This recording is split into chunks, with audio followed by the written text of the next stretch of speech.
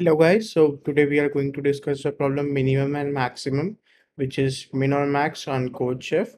So the problem statement goes like from a hidden array A of length 10, stack constructs an array B of length 10 such that for every i that belongs in the range 1 to n, bi is either the maximum of uh, elements till that point of time or bi is minimum of all the elements till that point of time. So bi would be maximum of ai a2 till ai or it would be minimum of a1 a2 till ai. Okay. And for the given array B of length 10, stack wants to check whether a possible array A exists or not. Okay. So first of all, the first line will contain an input, which will be a single integer denoting the number of test cases and for description of each and every test case we will be given first of all the length of array b that will be n. And then we will be given n separated integers that would be b1 b2 till bn. That are the elements of array b. So these are the test cases that are given to us. So let us discuss this test cases to begin with. So first of all we are given three test cases okay and these are the three cases that are given to us. If you are having an array of size 1 array of size 4 array of size 3 and these are the elements that represent the array. So what we know is we are given bi or we are given b okay that would be b1 b2 b3 till bn okay so we are given all the elements of array B. What we know is that BI is, is either the minimum till that point of time or either it is the maximum.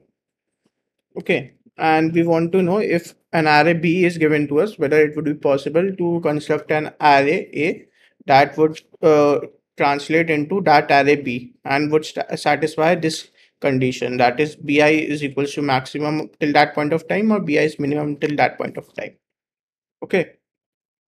So what we can do is like for each and every element till uh, that point of time in array b if we keep if we keep max so far okay and min so far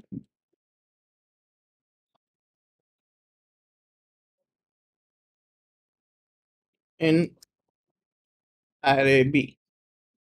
Okay, if we are keeping the max so far, min so far in array B. So suppose for this array, we keep the max so far and min so far. So the max so far would be 1, then again 1. This would be max so far. Okay, so initially it would it was 1, then 1, then 2, then 3 okay. And what would be the min so far? It would be 1 1 1 1 okay. This would be the min so far.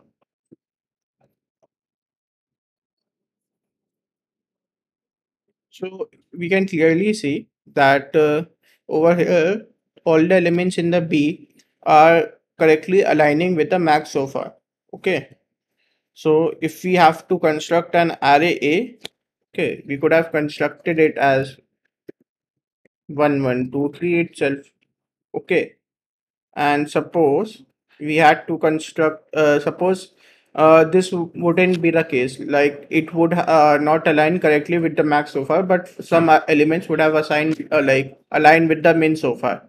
Okay. So suppose we have to check uh, for each and every element b that is uh, lying in uh, array b either it is lying in the max so far or either it is lying in the min so far okay so that we can say we can if if there is an element uh, in b which is either lying in the max so far of b till now or min so far of b till now then definitely we can arrange an array a. Okay why? So because uh, if we are suppose this is the combination. Suppose first element was uh, aligning with min so far then max so far. Then again max so far then again min so far. Okay. So this would this would have been the case. Suppose okay these are the elements. Suppose you can uh, see this as b naught b1 b2 and b3 okay so b naught is equals to min so far b1 is equals to max so far b2 is again equals to max so far and b3 is equals to min so far. So what could have been done is uh, like if we have to uh, arrange a naught a1 a2 and a2 initially would have we would have assigned min so far to a naught okay? And then for b1 we are getting max so far so what we could have done is we could have assigned any integer in the range of min so far to max so far okay? Or we could have simply assigned it as max so far okay? Again we are getting the max so far okay? So again it would be greater than b1 it would be greater than b1 or it would be equals to b1 okay? So again we could have assigned max so far and then since this one is the lesser one we could have assigned it as min so far. That would be lesser than equals to b naught. Okay. So we could have uh, let's suppose uh, we take some examples as well. Suppose this was 1 4 6 1 4 6 and uh, let us do this as 2 okay, so 2 4 6 1 okay and simply our array would have been 2 then 4 then 6 then 1 so min till that point of time would have been 2 max till that point of time would have been 4 okay max till uh, this point of time would have been 6 and again min for all the ranges would have been 1 over here. Okay so if we are getting all the uh, b nodes that are the elements of b either in the range uh, of min so far and max so far that we know we cannot arrange and replicate an array and result that into a. But if we are getting on the edges like we are getting the min so far we are getting the max so far for each and every element then obviously we can arrange an array a simply that would replicate b. Okay so for each and every element in b we have to check whether it is lying. Whether now we have to check we have to check whether each and every element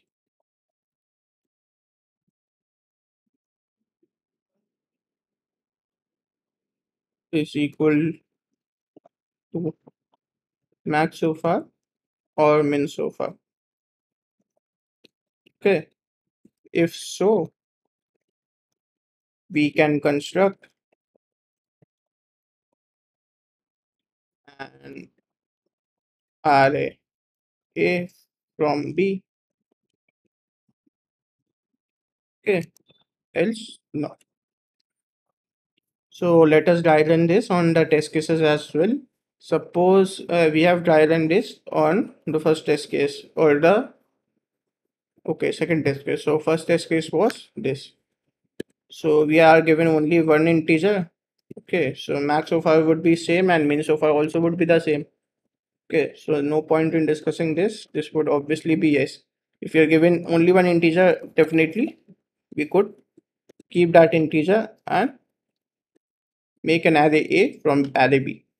So let us discuss this for the third case, test case itself. Okay so this was 1 3 and 2 okay so max so far would have been 1 then 3 then 3 okay and min so far would have been 1 1 and 1 okay. So over here we can see this is the max so far and this is the min so far. So for the first element it is equals to the max so far. So it is aligning with max so far and even the min so far as well. Okay and for second element it is assigning with the aligning with the max so far not with the main so far but uh, even if it aligns with any of the max so far or min so far as we have discussed that is fine. But for the third element neither it is equals to the max so far nor it is equals to the main so far so obviously because of the third element we cannot result or we cannot make an array a out of b. So this would have been false.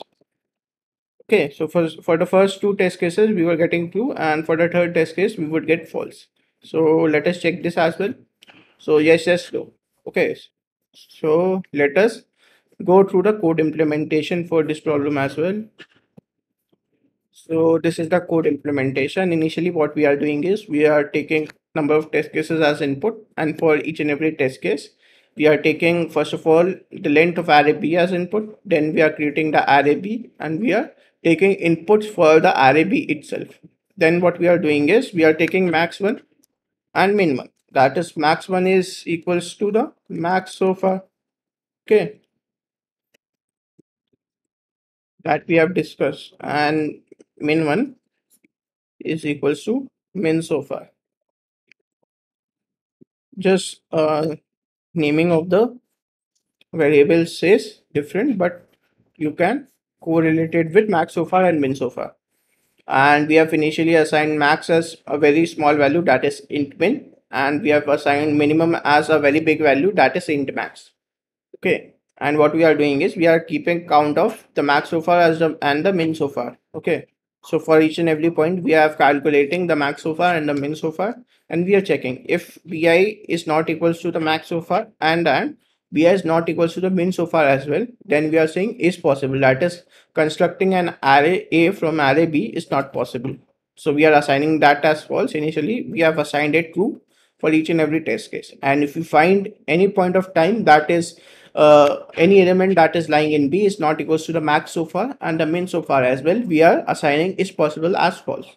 So at last what we are doing is we are checking if is possible is true. That is we were able to align each and every element of B with either the max so far or min so far. Then we are outputting yes, else we are outputting no. So let us check this for the sample test cases as well. These are the sample test cases. Okay. So we should get yes, yes, and no. So we do get yes, yes, and no. Let us submit this for remaining test cases and check whether these uh, solution passes all the test cases or not.